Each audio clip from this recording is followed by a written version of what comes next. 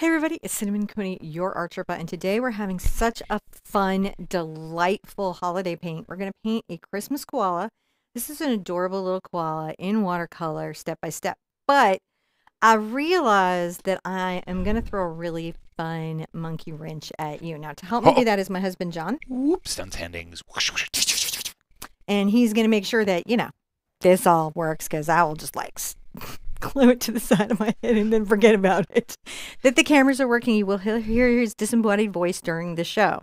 Now, how this is going to work, the first part, I'm going to break down step by step how you draw this.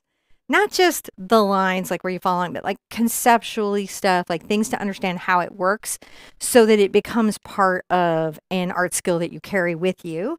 I want to thank everybody who has decided to come to the live stream today because I'm doing this live um, which is which is wild, becoming more and more relevant by the day. I am doing this live and in person for you guys. Um, and so if you're here during the live and you have a question, we love questions. Put it all in caps. I might answer it during the show, or the moderators may answer it because moderators are just people who've been here for the last 10 years and have watched 2,500 videos, so they know where they are. That's if you've been here for 10 years and you know all 2,500 videos, go ahead and write support at theartsherpa.com to mod. No, um, but that's we don't. We're actually pretty good. We don't. We have a very friendly community. So our mods are hosts. They're not gatekeepers. They're not here to catch trolls. I mean, like we ban them pretty fast when they come in. They're literally here to help you.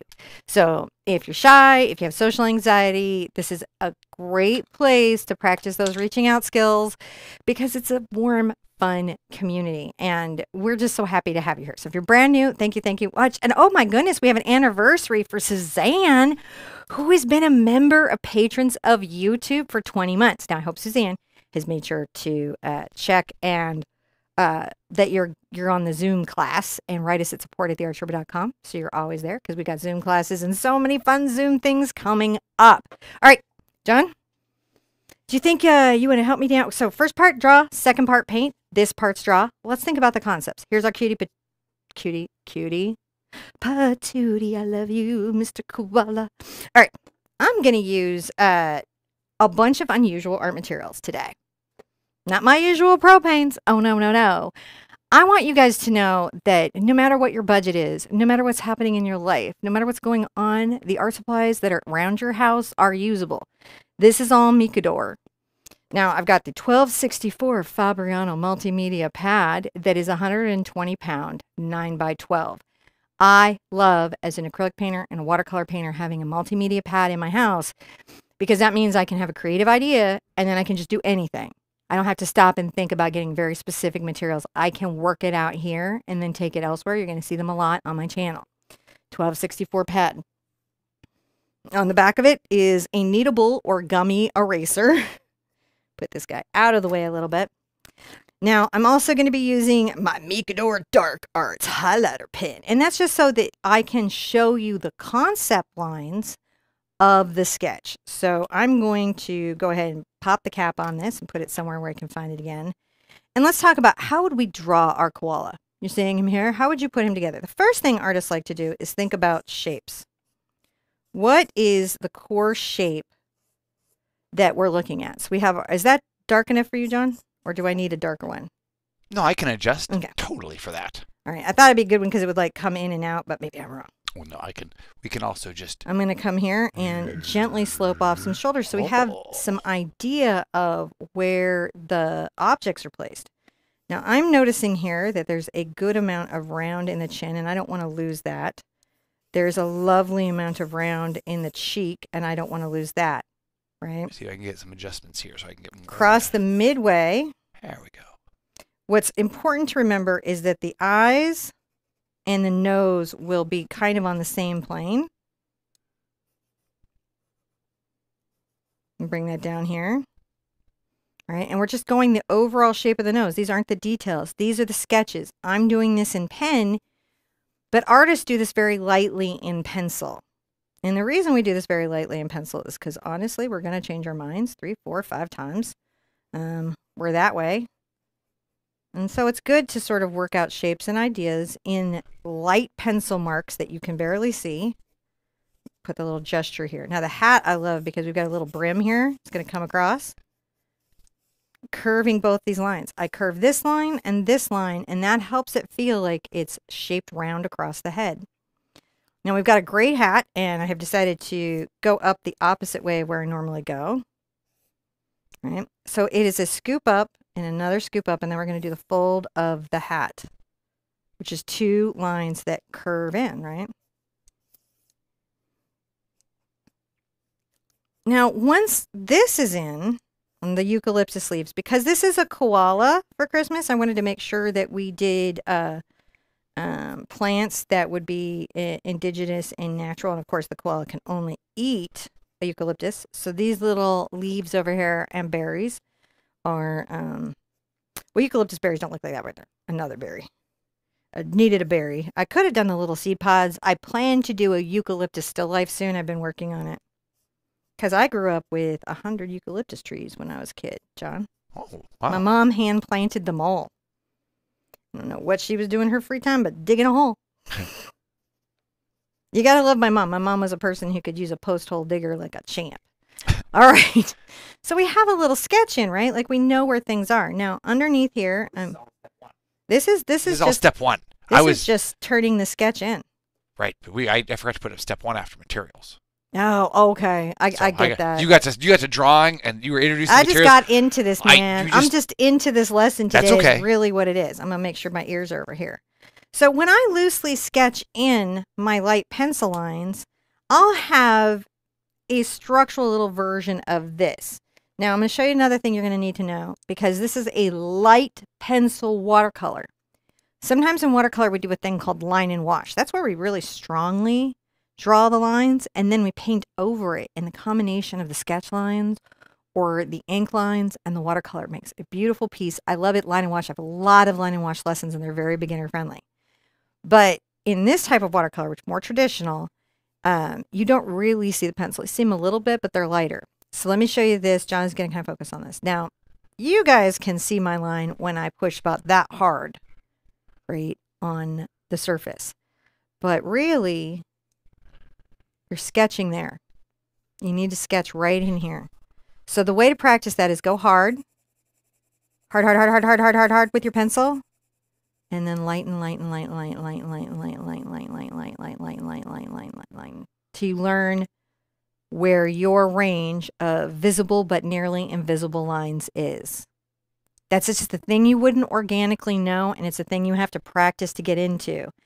Oh, how is everybody doing? Um, yeah, moderator main, Rainbow is reminding you everything you see here. If you're like, wow, that's cute, that's at the store, and I because I'm a mom and I Christmas shop, I just want you to know that I do not believe any shipping would make it by Christmas. Am I correct?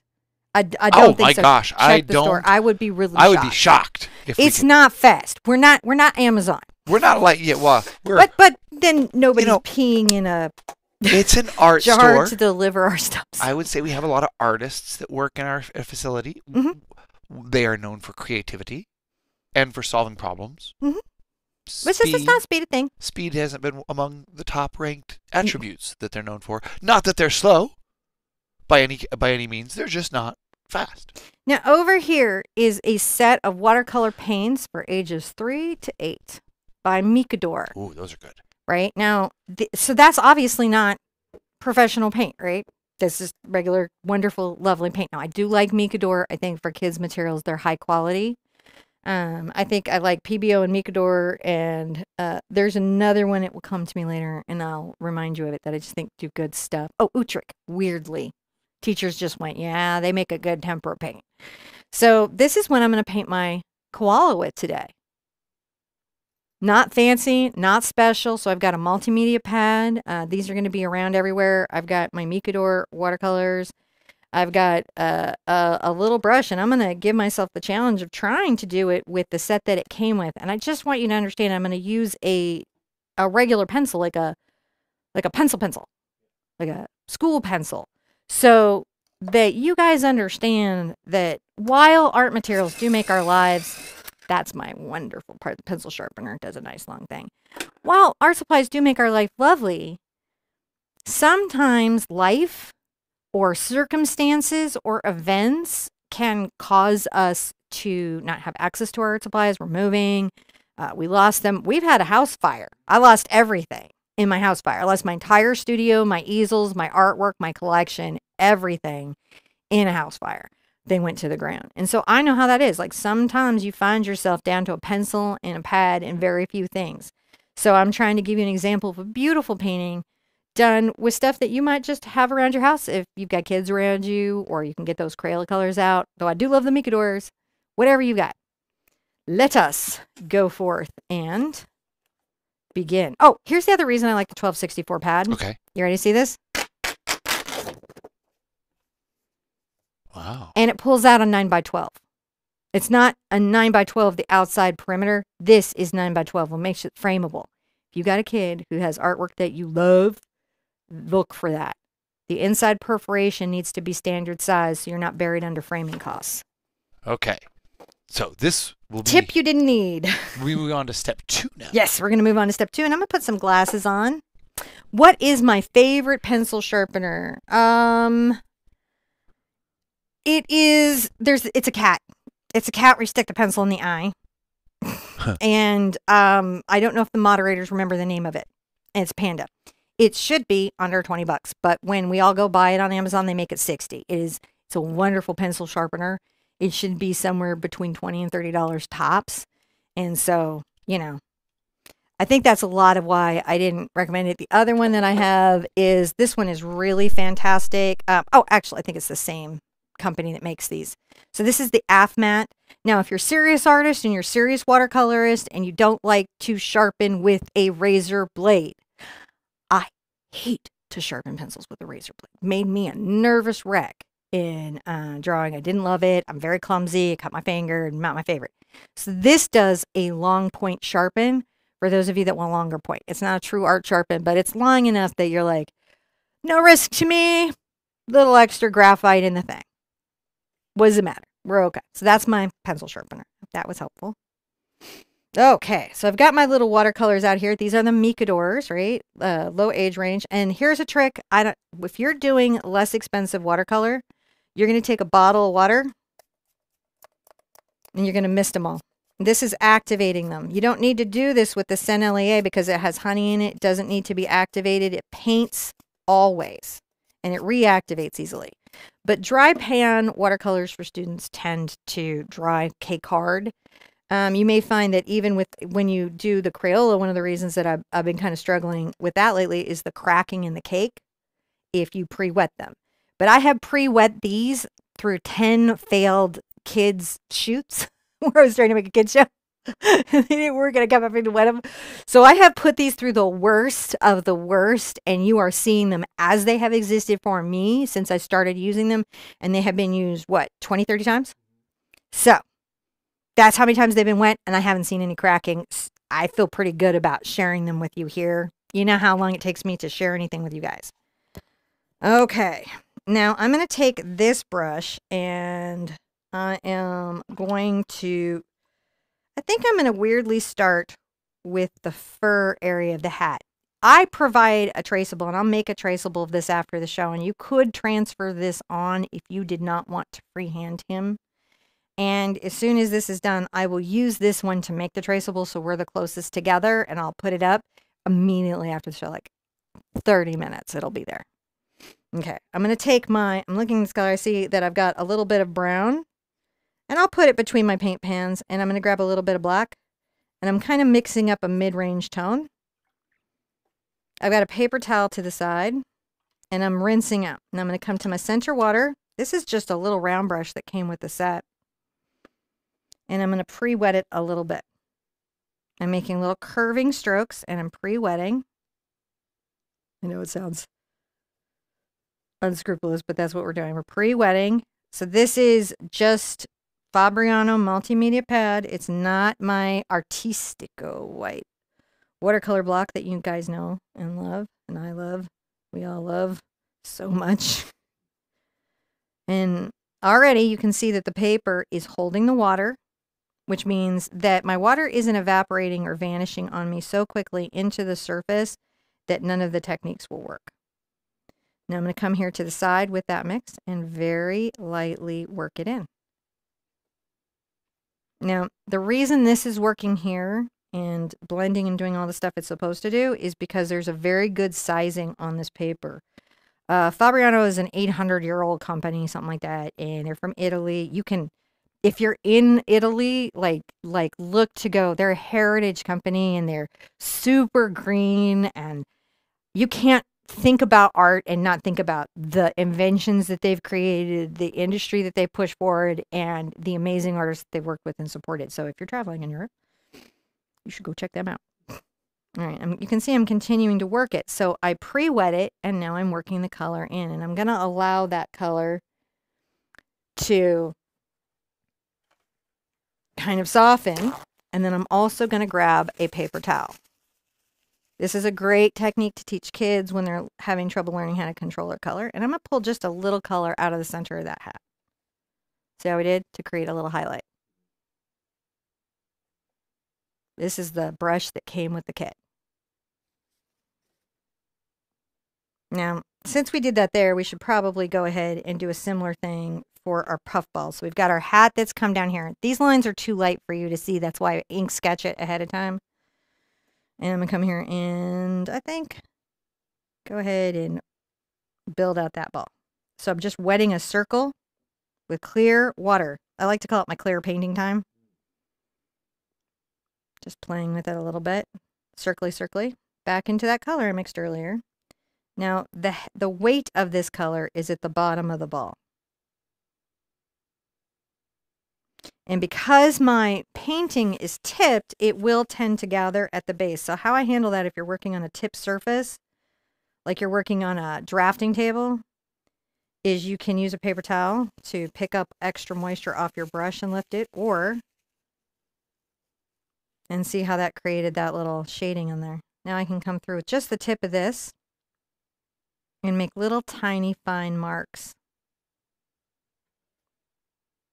The other reason I did this right now, I know I've got a lot of Australians that are painting with me today, and I know that you guys are um, dealing with a, uh, uh, you know, the cost of art supplies is really, really high right now. So if you can't get Micador in your area, Mont Blanc, Montmartre, Montmartre, Montmartre Art. Montmartre. They have a YouTube channel, Australia, Montmartre Art. YouTube has buried it. If you're not aware of it, go follow it. Montmartre Art. That is a local art supply company that provides really good materials to your communities, and they're fantastic. I like them. I've met them. They're lovely.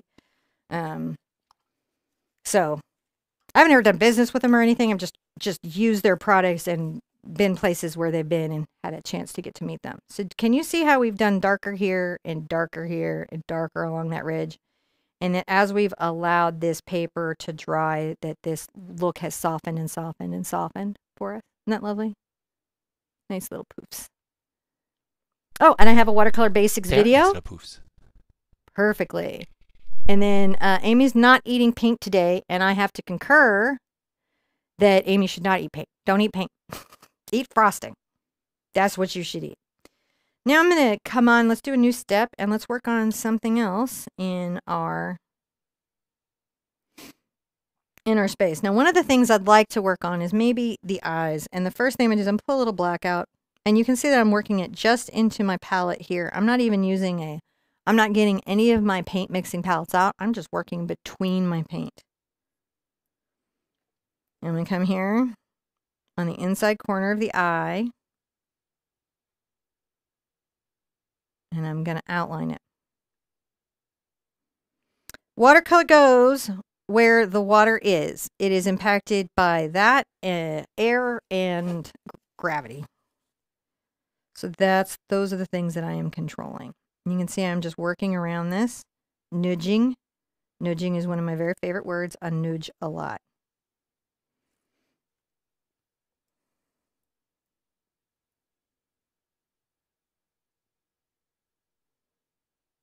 And that nudging.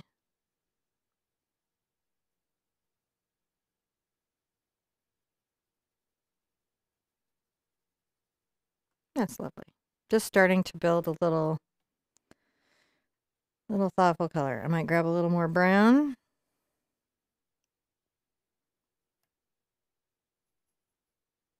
Maybe have this little mix over here be a little more brown. Now let's come right here.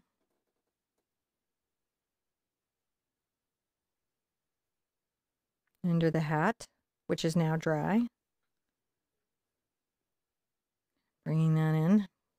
I would like to Mm, you don't have to be too precious around the nose. And the reason is, is that it's such a dark color, but I will not want to paint over it because I need to have room to lighten it. You see white here on my thing, and that's wonderful and that's great for kids. But in watercolor, generally, unless you're using a gouache to highlight something or an acrylic to highlight something, the paper is our white. Let's continue here. Are you guys loving seeing this in like not expensive materials? Awesome. I've been asking myself, what can I do lately to to make life easier for you guys? And I realized maybe showing you some workarounds on things that could feel perhaps expensive, and then showing you how to make it not so much. And you can see that the that the watercolor definitely layers and sheer glazes.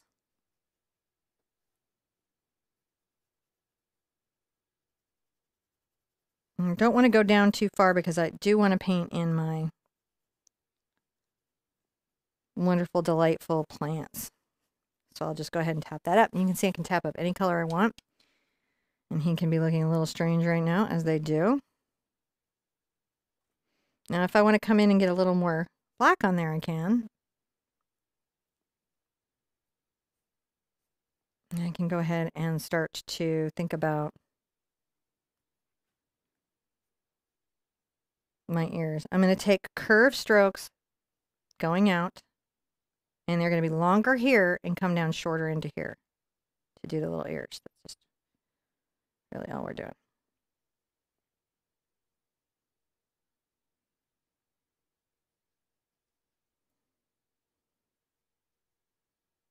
A little darker under here.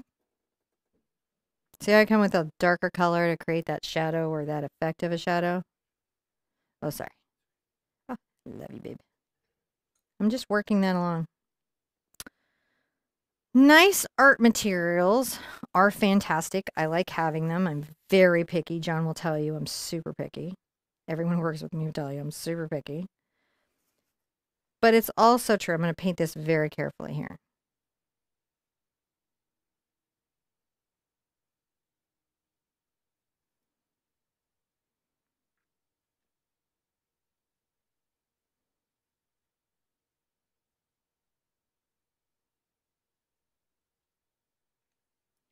Trying to make sure we got nice little even ears across the board. Getting a little black there. I'm loading right off the pan. Come here and darken that. I think this time I got a little closer to the hat. That's okay.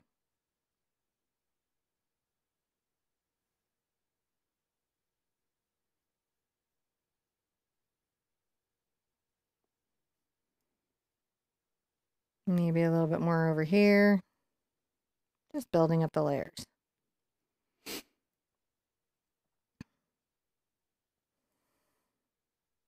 Go ahead and get a little darker color on my brush right here.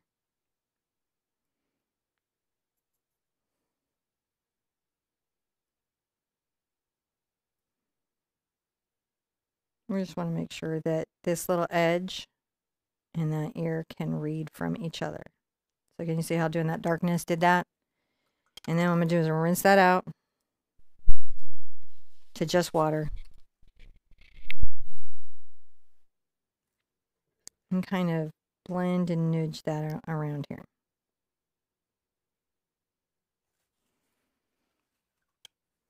I want my puffball to read as separate from the background.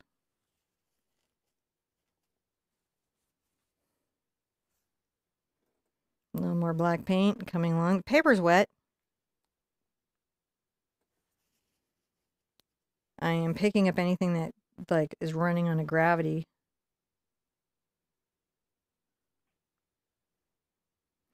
I didn't really realize how valuable a skill it was to be able to work with kids' materials like crayons and stuff and really do painting techniques until I started doing stuff at the schools Yeah. with my kids. And then I was like, oh wow, like this is this is something that isn't getting covered out there Yeah.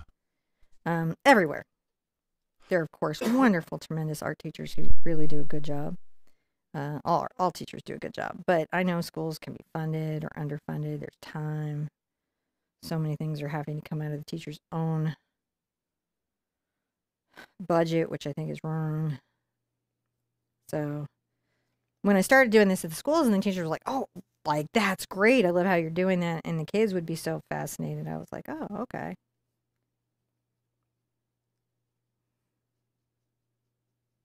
cleaning it up. Let's call that a, let's call that an area because we did a lot of work there, didn't we?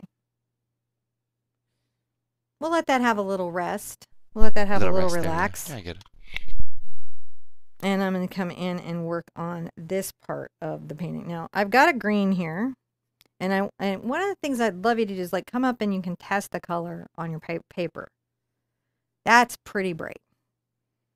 So I might grab some of my browning color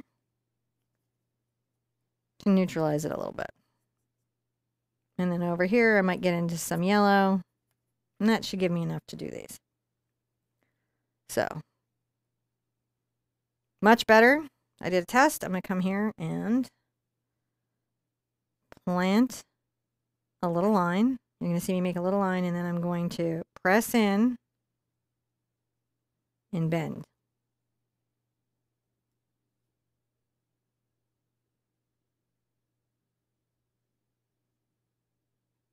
It's maybe not as brown as I would have liked, but it's okay.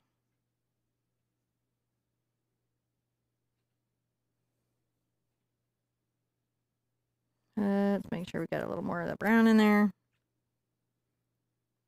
Now this one, I may paint very carefully, kind of leaving the center stem. Not paint it as much. Darken that leaf there. Line, line. So it's really just a leaf stroke, right? That's not too terrible.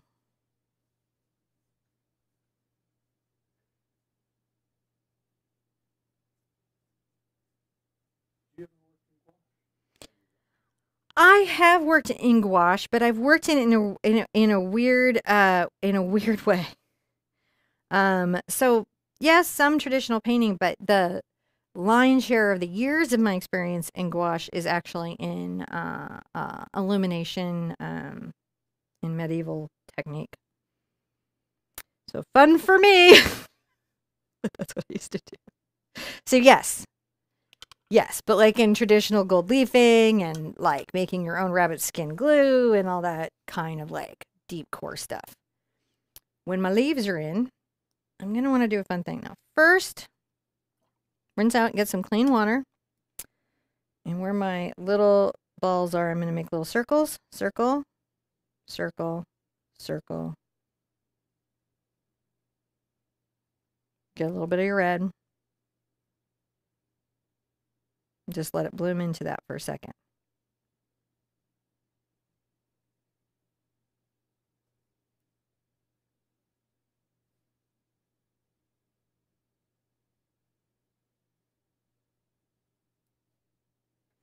Now, again, because of gravity, I've really got to come in and clean up.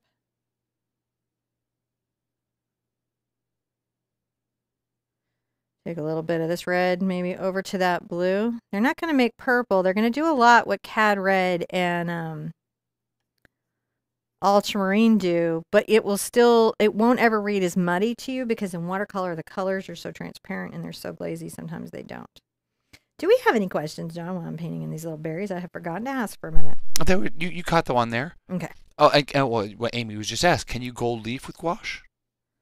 Uh, you can gold leaf over gouache, but gouache doesn't gold leaf. Gold this is leafing is the process of affixing a pounded out sheet of 24 hour gold to the surface. Now, I have a really cool version of it, Mona Lisa, as you guys know in my Zoom class, and I'm going to show you the not all of your bank account version. Though, John, I saw something on Jazz's channel where I just wanted to draw a take what little is left in our bank account and go crazy buying art materials. Apparently, there's a clay that's made of silver, and when you heat it, it turns it becomes silver. So you sculpt it, and then you just hit it with a torch, and then it's like a silver sculpture, and it's real silver. So 800 pounds is like just a few pouches, but I was like losing my mind. I was like, that is the coolest thing I've ever seen. So I'm taking this sort of darker color and I'm coming in the bottom there and just making sure that my little berries have some shading. Now, if I rinse out in the center, I'll come over here to my clean water and I've got a damp brush, I can come in and um, blend too. In shape, I can just make things a little bit better.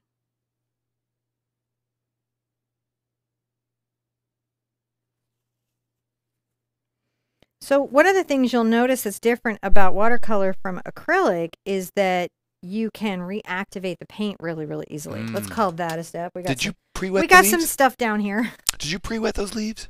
I I didn't pre-wet the leaves. I did a touch pull stroke on them, and I have 32 watercolor techniques that every beginner needs to know, and an introduction to watercolor. If you're like, this is kind of cool, I want to know more. Um, I had a second channel for watercolor, um, but I've just started moving everything over to the main channel Mm. lately.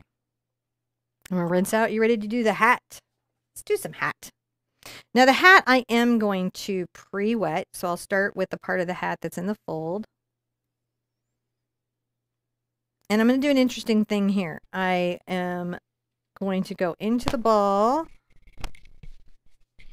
I think I will come along there, but I don't want to go into the main part of the hat. Let's get our red. Just whatever red we have in our palette. You get whatever red you have. I'll grab. That was beautiful. Better than I expected. Sometimes with watercolor, you don't work very hard to, to get there. And come along that line. And what you're going to notice is that this watercolor just painted itself into the hat, didn't it? Grab a lot more red right there. So gravity is working in on this. There you go. Hmm. Looking quite good. And you might think to yourself, you might ask yourself, is this my beautiful wife? You might ask yourself, is this my red on my koala? Watching the days go by. I'm just lightly wetting it out with a pink. But it's like pink.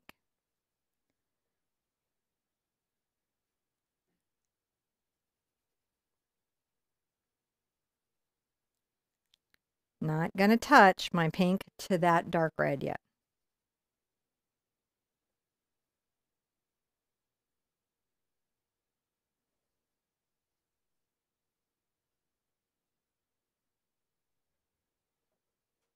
And you can see how if the paper's pre-wet, the watercolor flows through.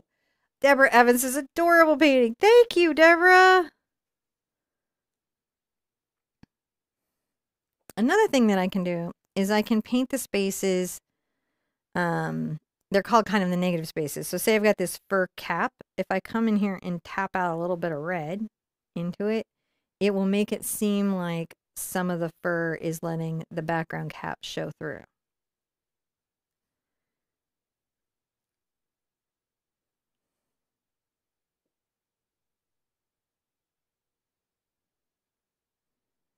Now I'm going to take a little bit of my black and red together. And now that the top of the hat is just dry enough, paint that over a little bit.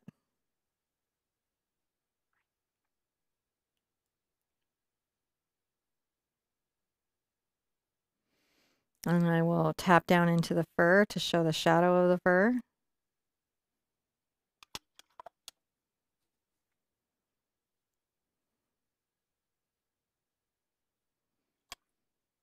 Let's go ahead and kind of work that out. You see how I work the water brush back into it and I'm allowing it to sort of all bloom together? Take a little bit of the red and black. Just along that little fur line. What you will find with watercolor, the big thing is giving your art, you're painting, whatever it is, time to dry and uh, time to settle. What happens is the pigment affixes into the uh, paper. So there's a sizing on top of it, and that's what allows the bloom and a lot of these watercolor effects. Some of you had felt like the only papers that would do that were really, really high end. And what I'm going to suggest to you, it's more about the paper company that you're working with.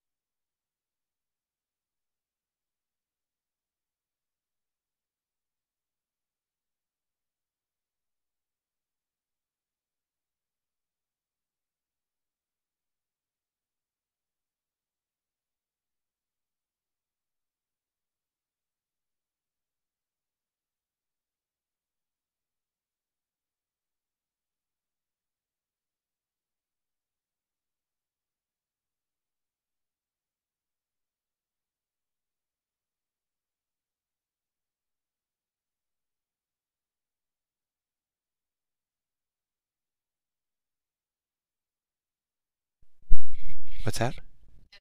Oh yeah, it looks like let me see something. Something happened here. They do do do. What happened to you? It fell off and then it turned off. Hmm, that's weird. Okay. Well, I'm gonna tell you what. I'm gonna get you some new batteries real quick.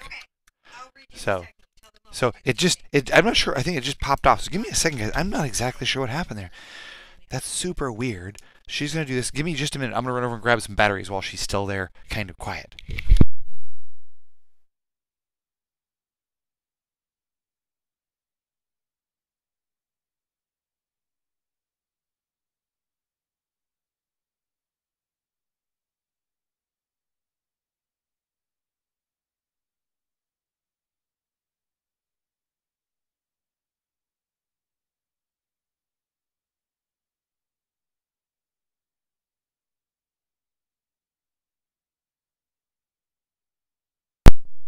Choose not to panic about that. Let's let's. I'm gonna put my other pad up here so just we have nicer, cleaner. Okay. Was Look, that back, so- guys? All right. All right. She's going to go back over that. So hold on just a second. Uh, it's 110 pound, but I think we're okay. Am I in sketch pad? Her battery. sketch? No, so what happened? Well, yeah, her her battery just Is cut out there, guys. Is it back? Yeah, it's back. Okay. Let's. Co- I'll come right here. So first, I'm going to show you this. This is just some watercolor basics, so you guys know. Watercolor goes where the water is. So if I get my brush wet and I load it on the tip with the red paint and I go like this, it isn't going to go anywhere, even with the gravity too much past where my brush strokes go. And you can see I can make tiny ones and big ones, and it fairly stays there. But say it came up with some some lines that were close to this. This is wet, and my lines coming in are wet. And this line touched that line, and then touched that line. You can see where they touch, the green starts to bloom into that. But I can go right up to it. And if as long as I don't touch those two areas of water, everybody stays contained.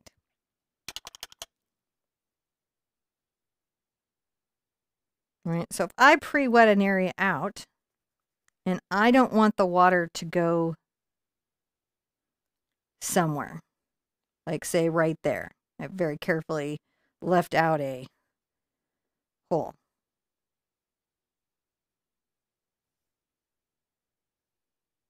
Even as this dries, it's never going to go right there.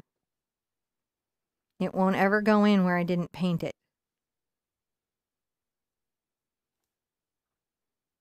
Just stays where I put it. It's lovely in that way. So I hope that helps. Love doing that. All right, back to my cute koala with my kid stuff. I love this nose. I'm going to get into this nose. into the nose. All right. So now I might, because I'm using a very dark paint, come in and very lightly just think about my sketch. This is a kid's pencil for school. I do have art pencils everywhere, but I just want you to understand an HB pencil is just a lead. It's a pencil lead. It's the softness of pencil lead. It's a middle hard, middle dark pencil. It's the most middle of all middles, and a bunch of scanners can read it. HB. If it starts being 6B, 4B, 3B, 2B, it's blacker. If it starts being H1, H2, H3, it's harder and lighter. That's pencils.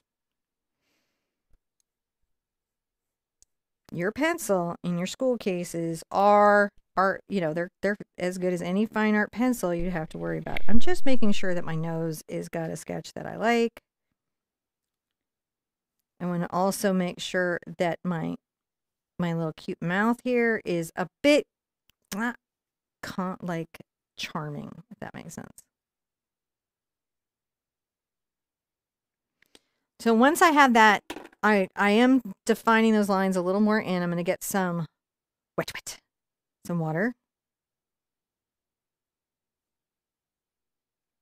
I'm interestingly enough not going to paint inside my nostrils quite yet. And I have left a little bit unpainted. And I'm going to take my black and I'm going to load up hard. That's a lot of pigment on there. And come around the outside edge of what I have pre-wet.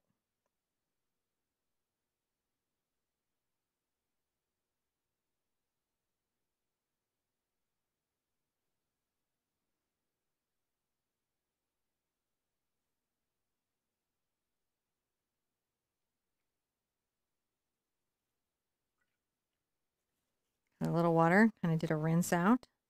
Decided to leave a little reflection right there. And now I'm going to do an important thing. I'm going to come here with my paper towel.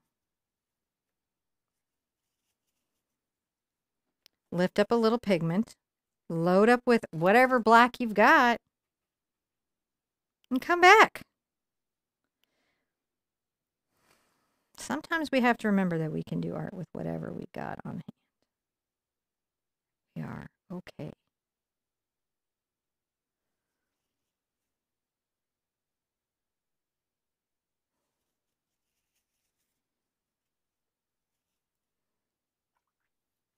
I don't like that hard line, so I'm going to come in with my brush and wiggle it.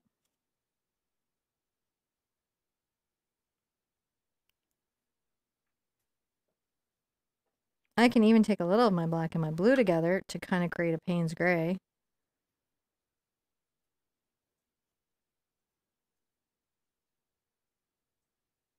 Come on that far side with that.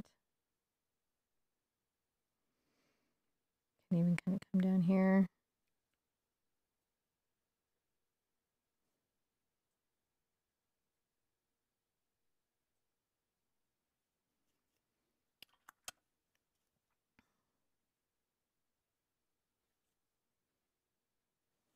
Now, as that dries, it will soften out and will continue to be the awesome. Shall we continue on our our journey? And then grab a little bit more brown over to my green.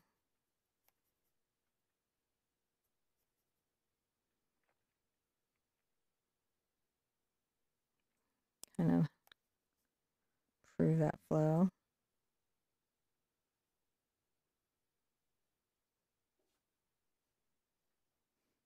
Just kind of adding a little more dimensionality to leaves.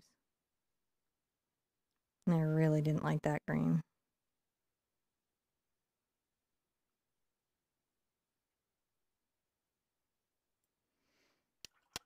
Now, under the chin, I'm back into my black. Black, black, black, black, black, black. My brown.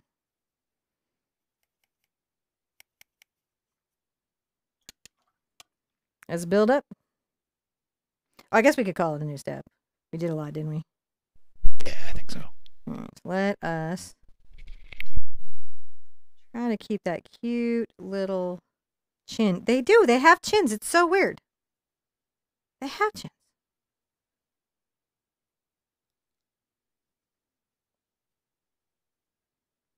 Now I'm going to paint very carefully around my leaves. I'm going to try to touch them as little possible where they're wet with my paint so that they stay sharp. I will let this kind of come out maybe into a wash out this way.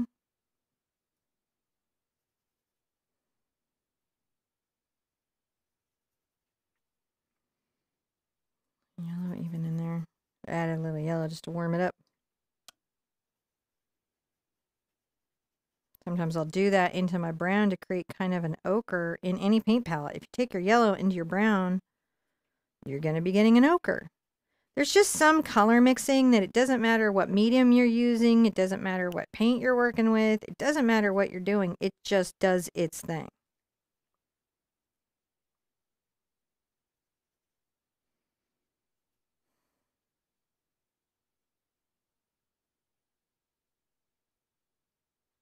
Coming under the shoulders there. And you can see because it was wet already, it starts to bloom and shade out.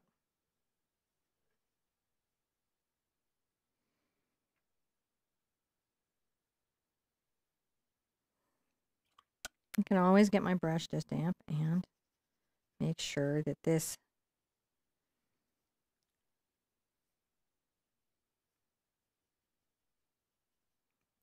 maybe too much shoulder, but that's fine.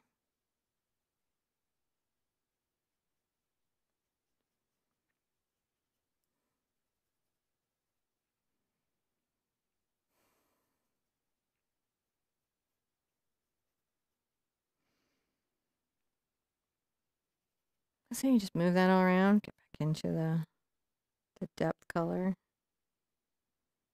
And you can paint very carefully around leaves if you need to.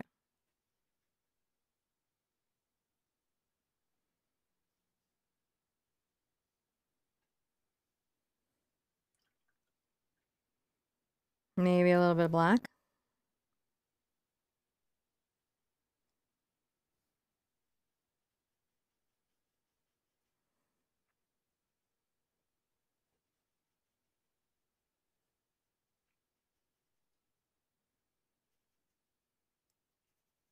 A little darker under here.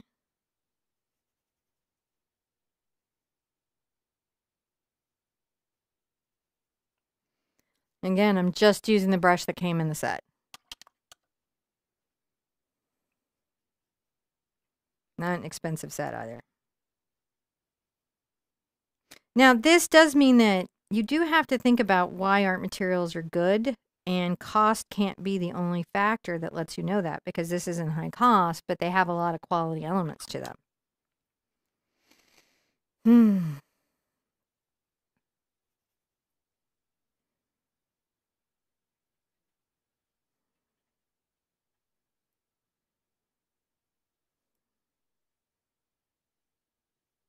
All right. Shall we call that a step? I'm going to continue on.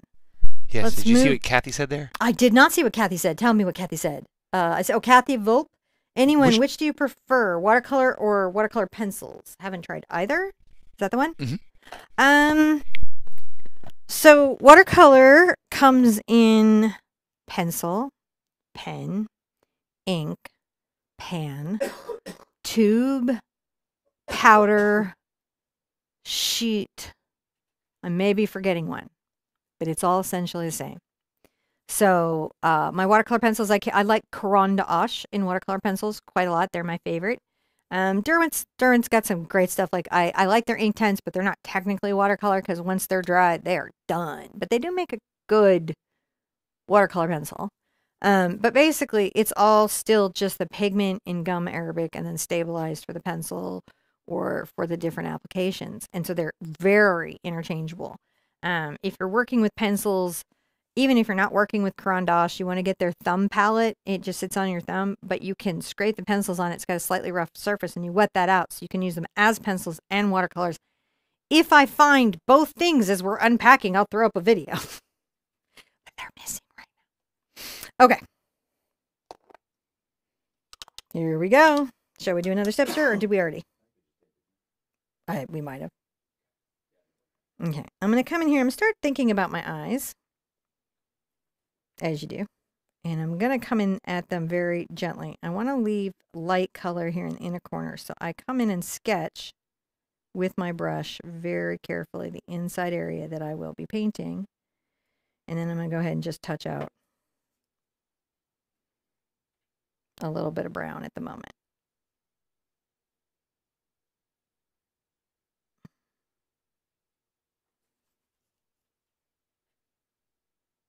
And I'll pick up a little.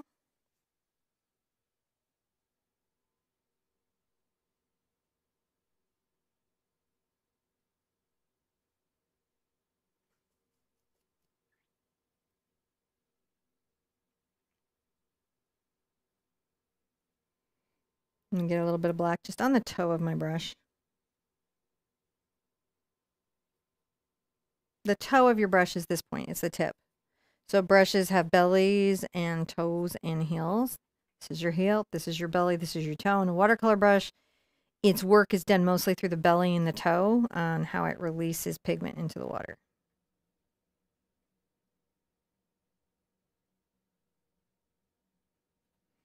And I'm going to come around this and just kind of do a darkened ring.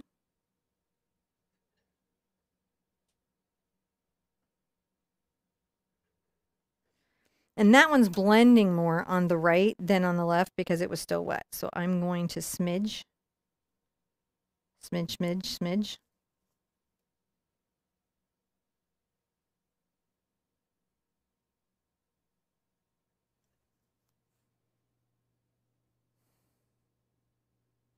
And a little darker under here.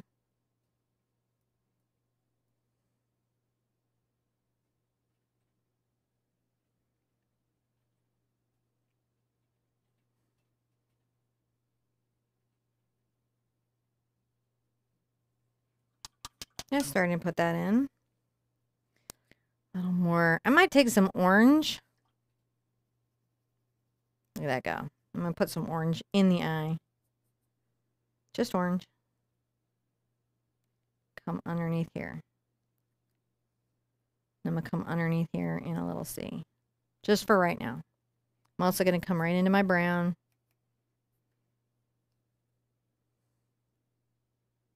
I'm going to start to work in my little koala nostrils, which are a little hard to read right now, but are about to be a lot easier to read as I shade in the structure of that nose.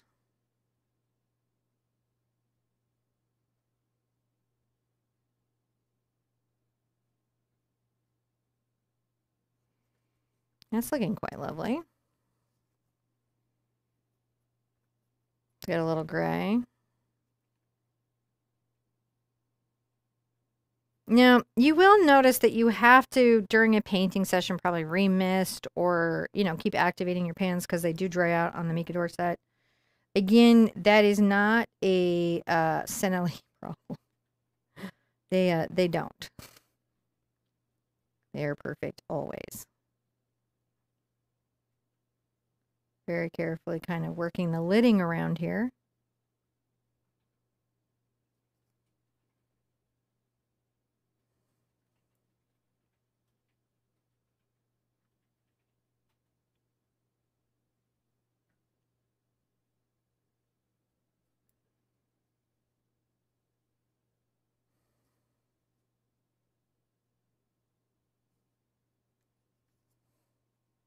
Little bit of dark right there. Let's come in kind of in. I don't, you're not, so here's the trick. Don't use this like it's acrylic. You should not be gouache painting this in, in, in or um, acrylic painting it. You're not doing thick applications of anything. Because sometimes in gouache, your application can feel a little thicker. It's, it's, it's not, it's just the nature of the paint. But the trick is to figure out the materials that you have, that you're working with today. Do you need to mist all watercolors? Um, all pan watercolors, I would either do a drop. Okay, so there's two ways to do it.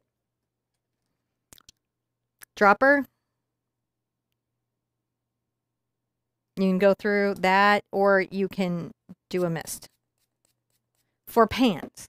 Now, on dry watercolor that you were using from before, so say I squeezed out from the tube and I have a bunch of dried tube watercolors on my palette, that are left over, I just miss that. That reactivates all of that, and I can use them repeatedly in every painting session. It's pretty awesome, actually. Come here and add some more value. A little darker.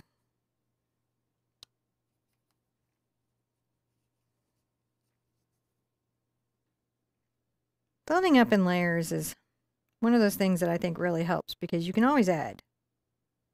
Add, add, add, add, add. Shall we do a new step, John? I'm going to Yeah, add a little think it's a good brown. I'm back into my brown and black. Just making sure I've got a nice amount of that.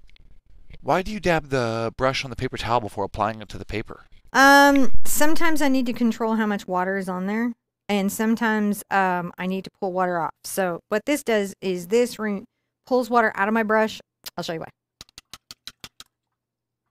All right, we're gonna come here, I think, and I'm gonna make a a drop, and I'll put some red in it so we can really really see it. So you can see how that drop is super heavy. If I come to my paper towel and I pull the moisture out of it, right? Or I can just touch it. It just takes a touch. Then I can hoover up my drop. So I was able to hoover that up. And that is a way to control the amount of water paint that's on my brush. So that's that's a lot of what you see me doing there is pulling paint up, putting it down, putting it, pulling it up, putting it down. Huh. Brooke says had difficulty reactivating watercolors on the paper. Why would that be? Your sizing. What paper are you using?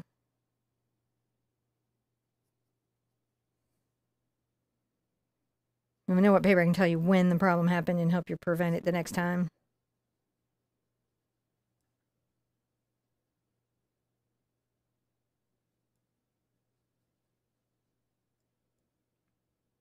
And I'm very carefully kind of come around these little eyes. And I'm leaving a little bit of this lighter color.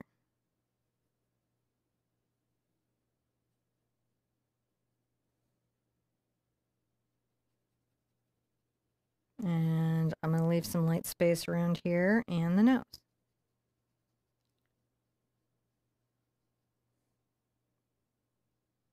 And do we know the paper yet? Brooke says 140 pounds. That's a good weight, but it's not the weight of your paper that's messing with you. It's the sizing on your paper. That's why. That's a, they cut corners and quality. So I know that they are, I, I, I'm going to give you the straight ho- Hobby Lobby talk here. And it's not about any of the stuff that people lose their mind about. I'm just going to talk about it philosophically. If you're an artist and your work is commercial, you will see a version of it there, or at least that happened a lot in the past, in my opinion. If you developed a new art product, you would see a cheaper and not as quality version of it there. So, philosophically, a long time ago, before all the other stuff about them came out, I had already kind of stepped away from them because I don't enjoy that practice, right? And so I pulled away. But what I can tell you is I've been on here for 10 years there are stores I get complaints about quality from and stores that I don't hear complaints about quality from. And Hobby Lobby is one that consistently in my group, people buy products that do not perform as intended or expected, especially from the house lines. This is a separate issue than all the other stuff that people are legitimately worried about. And that's true of art companies. Here's a surprise place that you can buy quality art materials on sale sometimes. You want to know a secret? Tuesday morning, on occasion, sells quality art supplies on sale. No. You wouldn't know to is go in there. This is just So- our opinion. But. That's my opinion. Yep. That is absolutely my opinion, and um, I have not done a scientific study of it all. But it's just it's just my own personal shopping habits. And sometimes when I say, well, I don't shop at Hobby Lobby as much anymore, um, it's for all the other stuff that's come out over the recent years, which is real and valid, and people, you know, have a right to totally think about that. I certainly think about that. But the truth is, it started way before that about the Mackenzie and Child's look-alike line. Now, I'm a huge fan of the artwork, not necessarily the politics or the beliefs or any of the Mackenzie and Childs, but as the artist, as their artwork, Don will tell you, I have loved them with a fire of a thousand suns. If I were rich, I would buy everything that they had ever made. I would go to their houseboat and buy work from them. I think they're incredible. Sometimes they make things that make me want to cry. So to see that knocked off, to me, it was a moment for me. And I think as consumers, we're all allowed to have a moment. I didn't cancel them. I'm never going I don't want, it's a business. They're fine. They're okay. But sometimes as a consumer, I can decide I don't like how they collect the cheese. And I don't want to help them collect any more cheese. So that is my opinion. That was a longer. I'm going to add a little shadow to my little chinning here. But that's that's why. Now, if they decide to carry Fabriano, you can then give that a good try. And sometimes they have, um, I don't remember, I haven't been in there for years. Uh, so if you know them and you know if they have arches, arches is sometimes a good product. So in paper.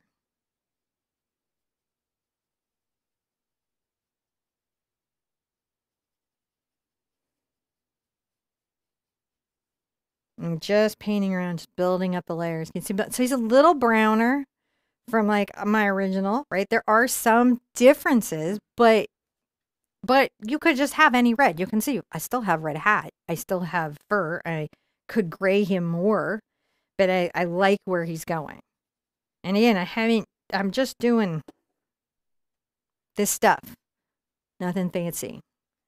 Cheap Joe's is awesome. 100% agree. Oh, and Moderator Rainbow. Hobby Lobby does carry arches. So if you shop in the lobby where you hobby, arches. It'll hit your pocketbook, but at least it'll work. Or it used to. They recently got purchased by uh, another company. So sometimes that changes how companies uh, perform. But they used to be very popular. I've added a little bit more black and come here and maybe uh, kind of think about the facing, the shape facing.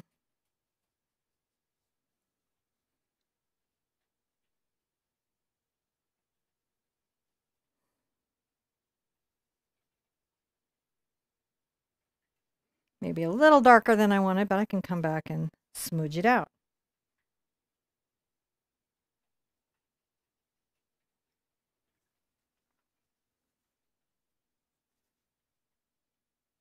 Oh, Atoll says like, yeah, Hobby Lo- uh, their Hobby Lobby has so much stuff that they're not into that um it's frustrating for them. It's it's a it's an art and hobby store, right?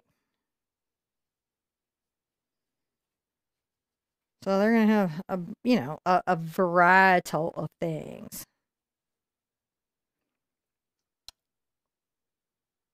I think it's going to be easier to set this line with paint so I'm going to load up some black. Just make sure that I've got a good shadow. And that does seem to be pulling those objects separate of each other.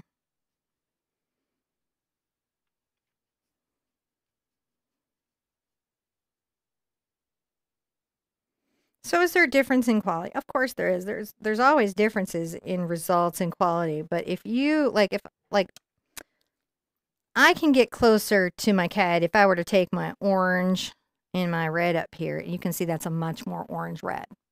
You know, you can nudge anything to where you need it to be if you want it to be there. Uh, what do you guys think of Strathmore watercolor holiday card paper? Depends on the batch. You have to think of Strathmore in terms of that. Depends on the run. Sometimes I find I like Strathmore as a company, like a lot. Like they're everywhere and I like it. But I do also understand sometimes I buy pad of paper that does not work like the last pad of paper.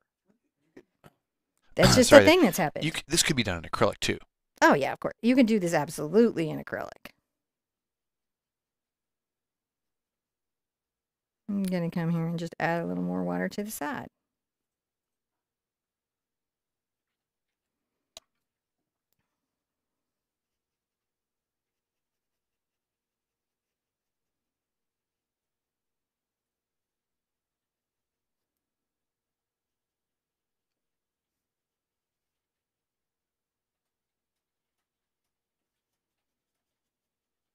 See, I'm nudging.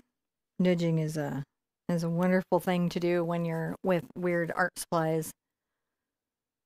Oh, I didn't hear that Joe Miller passed away a couple of weeks ago. Um, I did not hear that. I'm really sorry to hear that. Very sorry to hear that, guys. All right. So we're just kind of looking at all the little places to nudge. Let's come back into our eyes for a second because they're so lovely. And we're going to get some dark color. I'm going to use my paint here and I'm coming to activate my black up there. Let's come in just the inside line of that eye for a second.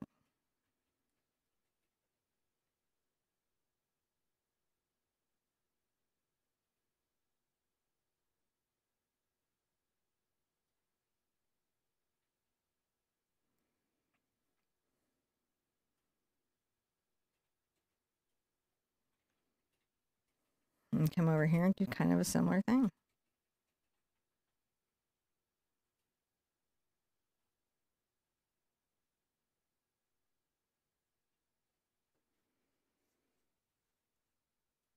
Well, that's not, that's actually, this is all for just, you know, kind of worked out and I'm going to come here and, uh,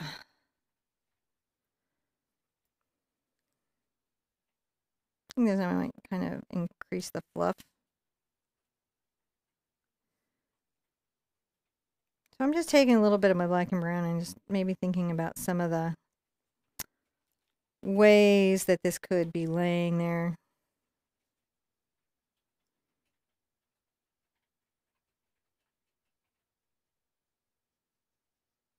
Adding a little bit of shadow right there.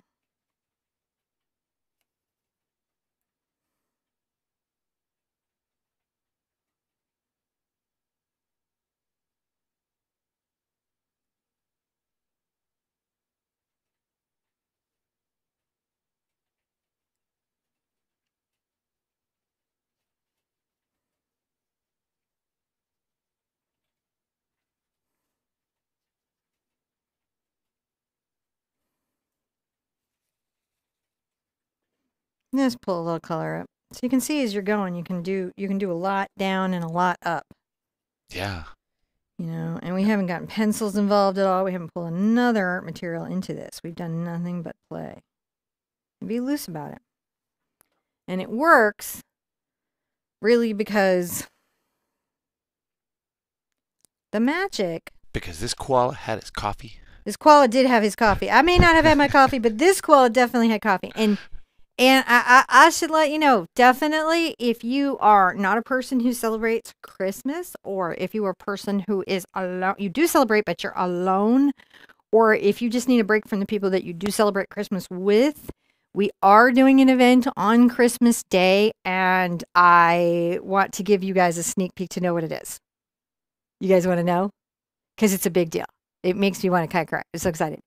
I'm going to redesign my color purple painting for the premiere of the color purple on Christmas Day. So I'm redesigning it, and uh, a lot of it is just because, I, and I'll go over it at the time. It just needs a redesign because I think my painting is sometimes misunderstood, and I had really created it from such a great space. But I recognize that its execution had not been quite where I wanted it. I was, I wanted to come back and visit that again so much because I love that book so much, and I love the author, and I just think it's incredible. And I love Oprah. There's so many intersections of love, love, love, love, love so that's what I'm going to be doing on that day. My um sound thing fell off and fell down my shirt, John. But sound thing just fell down my shirt. It's it's it fell down oh, this. Okay, I can because I can feel the little cable. All right. So if that's something, if uh, I, we're thinking of starting around one, um, check your newsletter. Be sure you sign up for the newsletter, and I'll post it everywhere and let you guys know. And then after we're done, my mom is going to go on, and I think for the patrons, we're going to have a uh, Zoom watch party so you guys can watch together. And that's for all patrons on that day where you guys can just all watch together. So that is our plan. Um, and if, if you are not busy and that's something that would help you or help you get through the holidays or deal with, you know, seasonal affective disorder, any of that, my mom and I, um, our gift to you guys for being such the best community in the entire world is to be here for you on the holidays. So we are going to be live Christmas Day. Watch your newsletter. We'll do something.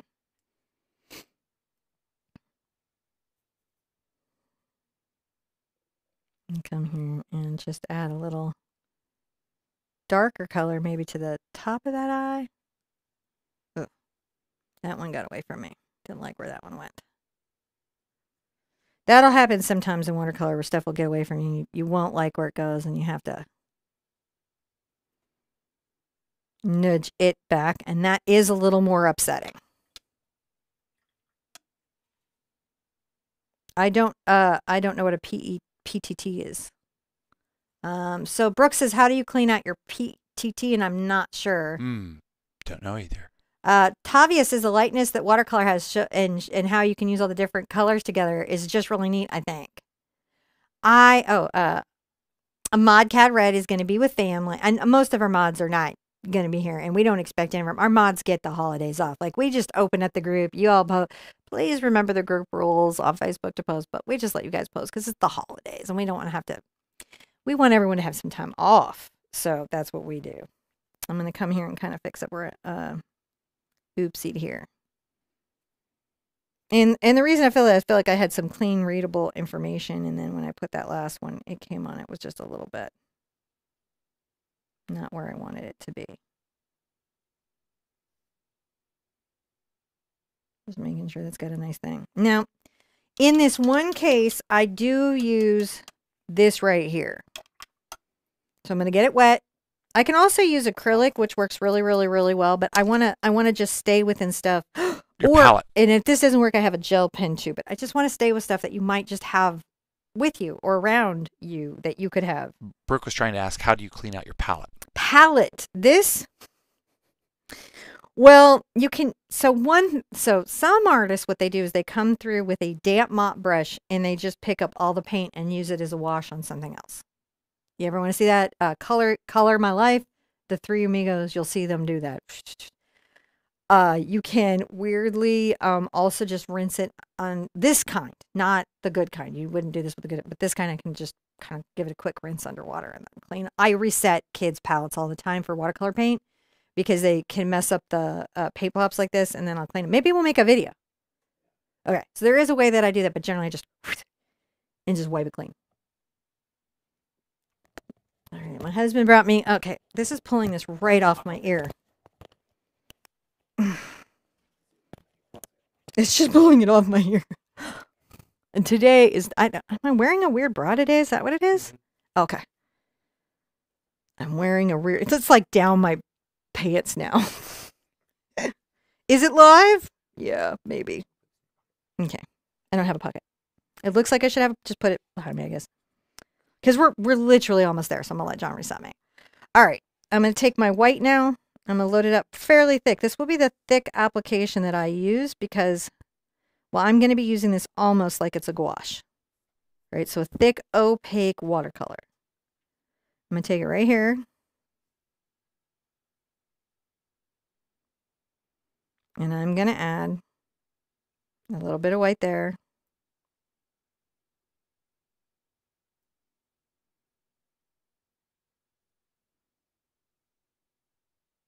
And I may come in and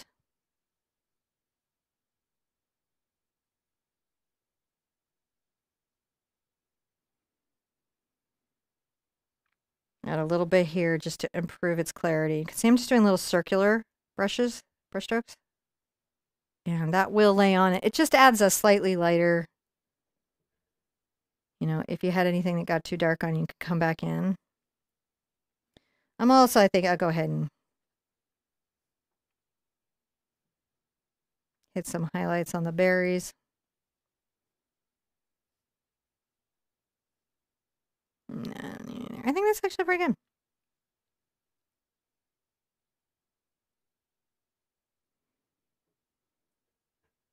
Yeah, I think we're guys. I think we're there. I think. All right. So the challenge was. pretty good. Huh? I think it turned out great. I think we did really good. The challenge was to do something I would normally do with my Sennelier. Uh, you know, honey based tubes squeezed in watercolors of juicy juice, or my core, or any of my really, really expensive art materials. I have brushes that are $300 or something like that. And this is totally worth it when you see what he does, right? He takes an Escoda and turns it into this. But I'm saying I didn't have to go get this brush to do this painting. I did what was in my kid's set for ages three to eight on a multimedia pad. Don't art materials are awesome, and I will always tell you what's good and what's worth your time and what's worth your money and what's not. I'm for that. I think that's an important part of what we do. Um, but I think it's also important to remember as artists that the reason that we have quality materials is because there are two factors that come into play for us as creatives. The first factor is what we do while we're being creative. The time you and I just spent together to paint this little koala and the experience that we had doing it. And then how long will this koala last after today? So artists, not Turner, but artists would think about not Van Gogh, but artists would think about how long can my painting last because a lot of times the artwork you see in the museum was not the best painter of its day, but the best material scientist of his day. Like that artist chose better varnish that didn't yellow. That artist chose better paint that didn't fade out. That canvas held up. You know, so sometimes it's not that you have to have like the best, the best, the best, sir. It's that these materials are also designed not just for use or layering or quality or production or pigment, but for longevity. And the combination of vibrancy and longevity increase the cost of art materials. And then if you add danger into that, like cadmium red is a very dangerous pigment to make into a paint. Not to use, like, don't eat your cadmium. That would not be healthy. Don't eat cad. Don't eat any cadmium. Don't lick batteries. Don't do any of that but it's not bioavailable to us in paint and we're going from the palette to the canvas like with lead um, but to make it you are exposed to the cadmium and to the lead so the cost of art materials when we're looking at that philosophically is that was it very dangerous for the paint company to make it? Was the material expensive to source? Uh, if if it's very vibrant and it lasts a long time it's going to be really costly because those are always hard to find and make. That is that is the initial concept of what should be pricing between professional student grade paints right? Like so student grade should still be quality. It should work like the kind that you would be using if you were selling to clients or consumers but it might not last as long and it may not be as vibrant which i think we kind of see here right in, in sort of a way and, and and if i put this in a window it might fade faster than my um, Sennelier Aquarelle watercolors would. That's that's the cost. That doesn't mean that you as a consumer have to put up with junk. Lots of companies make great low cost cost materials. Uh, Fabriano does. Um, does. I love this Micador, these kids. These are really good paints. Like even though they're kids' paints and they're easy on the pocketbook and they're wonderful and friendly for small hands, all that stuff that they are developmentally and they're all steam and all that stuff, they're just also quality. They're not tremendously vibrant and they may not last 50 years, but they were awesome to paint with today. And that brush for was just sure. fine. Yeah. And look, here's this cheap little brush where the crimp managed to stay on the brush. It so, works. You know how that goes. Doesn't have to be expensive to work.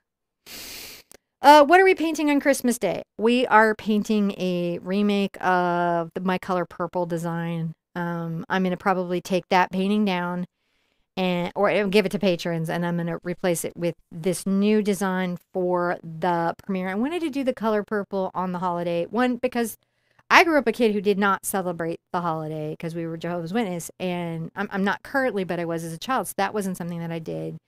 I know that we have members of the Jewish community that are not celebrating, Islamic community that are not celebrating, and you know, but a lot of a lot of places aren't celebrating.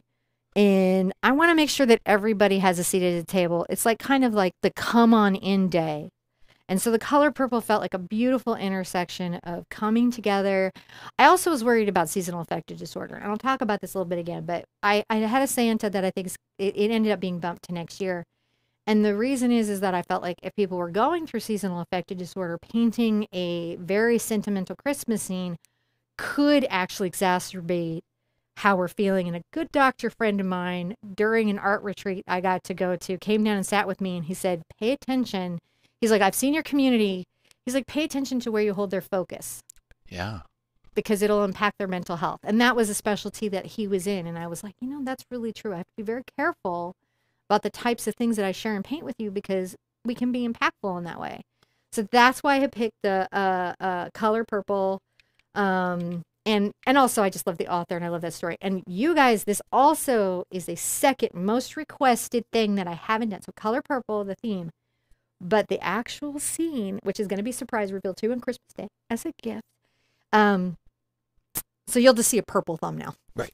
So save that if you're looking for that. But it, when you see it, will be something that you guys have also been asking for really heavily this last year. And it allowed me to create an intersection of my most requested topic and one of my favorite things. And so you're the best community ever. And I want you to know that you're my gift. Yeah. I I have won the lottery in communities. I go to gaming streams. I've seen Markiplier. I have the best community on the internet. I do. I do. You guys are amazing. I've seen you out in the world. You're kind you're smart, you're creative, and you make the world a better place and you are not tearing it down. So I'm super grateful for you guys being in my life. Yeah. Thank you. So happy to do this for you this Christmas. Now, be good to yourselves. Be good to each other. And I want to see you Thursday to paint a really long horse. All right. Bye bye.